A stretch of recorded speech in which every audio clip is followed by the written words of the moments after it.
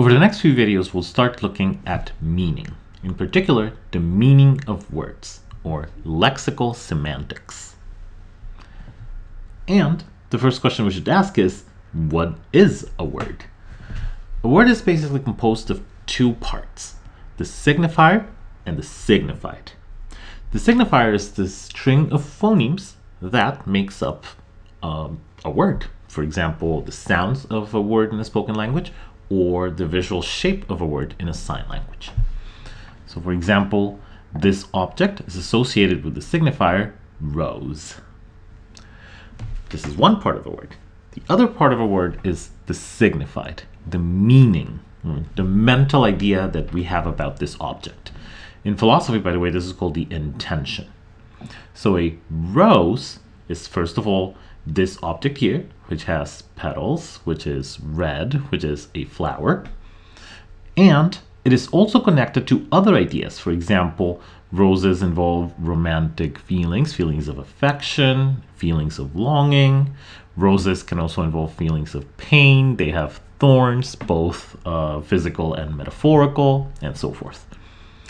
So the word rose has two parts. The sequence of phonemes that you use to produce it, and the mental images that are evoked when you say rose. Both of these are independent from the referent, which is the actual object in the real world. This is the biological object which comes out of a plant and has certain pigments and so forth. So there's, by the way, in philosophy, this is called the extension. So words have two parts, the signifier and the signified. By the way, for the overwhelming majority of words, the connection between these two is arbitrary. There's nothing in this biological object that is inherently associated with the sound r or with the vowel o. This object came to be called a rose for arbitrary reasons. There's no particular reason why it could be called a rose and not something else. It's just that now that the connection is made, we have historically, persistently, throughout the community of speakers of English, insisted on calling this rose. So let's take a, uh, a closer look at the meaning of words. Let's say this is a human. Can I ask you to describe what a human is? One way to describe it, which is described to Plato, is that a human is a being without feathers and that is biped. So in terms of features, it would be minus feathers plus biped. In phonology, we studied features as a way to distinguish between one sound and another. For example, some sounds are plus voiced, some are minus voiced. We're going to use the idea of features to distinguish between the meanings of words. So humans could be described in some universe as being minus feathers and plus biped. Let's take a look at this universe, which consists of three objects. There is man, woman, and dog. If we wanted to use a featural system to describe them, maybe we could use these features. In this universe, man is a human with no hair. As you can see, there's no hair on the person's head. If you wanted to describe woman, it would be a human with hair because in this particular universe, the woman does have hair and the man does not. And if you wanted to describe the dog, you could describe dog as minus human and plus hair, because you can see that the puppy has a little bit of hair. So you could use features to describe um, the meanings of the words in a certain universe. For example, you could use these features to distinguish between these three words. Let's have some fun with features. Let's say we have three words, which I have decomposed here into their signifiers and their signified. There's the word dog, which is has the signifier dog, this chain of phonemes. And the signified is the mental ideas that you have when you see this animal, which we're going to describe with one feature plus animal. There's a cat, which as you can see is this little fella, so the signifier is the string cat, and the signified is all of the ideas that you get when you hear this string of phonemes. And then there's bird as the signifier, and then the signified is all of the ideas that you get when you hear bird, which we're going to summarize with the emoji.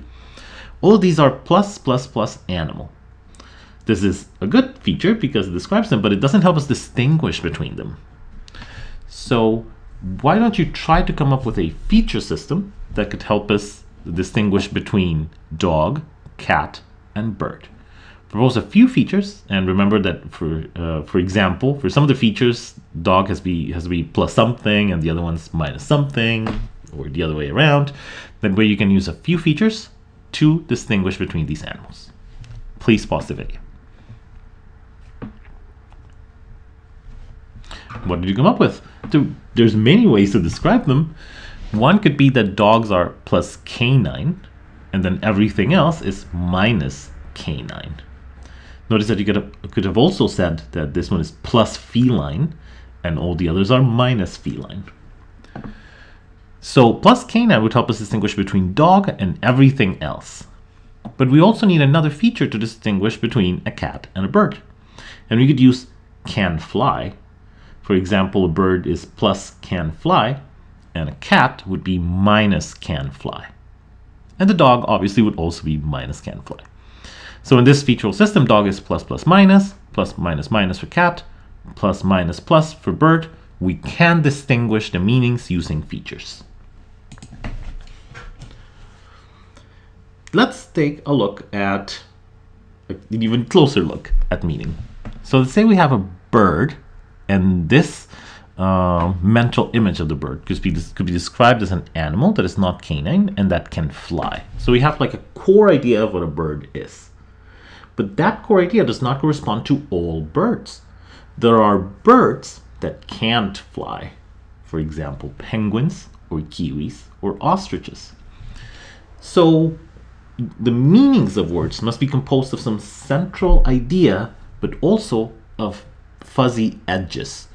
Fuzzy edges where you could have examples for the word where some of them are closer to the core and some of them maybe don't meet all of the characteristics but could still be thought of as being birds. For example, penguins, which can't fly, but they're still on the edge of being a bird. We call these fuzzy meanings, types of meanings that have fuzzy edges around them and that have words that maybe belong, maybe not. What about if we change the feature? Maybe it would work. Not really. Maybe we could change can fly to plus feathers. But even then, uh, birds can molt feathers and be featherless for a while. And some birds can get diseases where they have no feathers. So in this system, these creatures would be minus feathers. And so they would not be birds. They wouldn't meet the definition. So whatever meaning is, it cannot just be a strict set of binary uh, features for definitions. It must be that plus examples of what the word is that go progressively towards the edges of what we're willing to accept as bird. We're going to call this core a prototype. So the meanings of words must be composed of some prototype, which is like our idea of what a bird is, which can be described with some features, and then fuzzier edges around the meaning, which have examples of, um, you know, objects in the real world that are birds, but that maybe don't meet all of the characteristics of the prototype. So this prototype and the fuzzier edges around it are all going to be the composition of the meaning bird. In summary, words have two main parts. The signifier, which is the sequence of phonemes, and the signified, which is the meanings associated with the sequence of phonemes. These two are connected in an arbitrary way. There's no reason why this flying animal evokes the sound b or bird. It just is connected arbitrarily. The meaning itself can be described as features, but those features only uh, refer to some prototype, some mental prototype that we have for the word. The meaning must be composed of that and also progressively fuzzier edges of exemplars that we're also willing to incorporate into the meaning of bird. For example, penguins, which don't fly but are kind of birds. In the next video, we'll look more at the connections between words and how those fuzzy edges interact.